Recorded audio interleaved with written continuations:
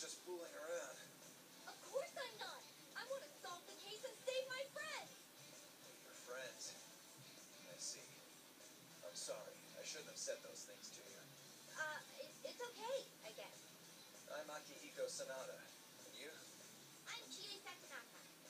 Um, what's this objective? I'm looking for a certain weapon that was lost in transit from a research facility.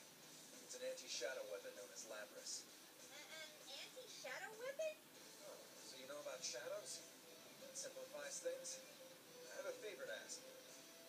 Okay, what is it? I need you to retrieve Labrys. It has to be up ahead, and I think it's at the heart of all this. Since only the winner gets to move on.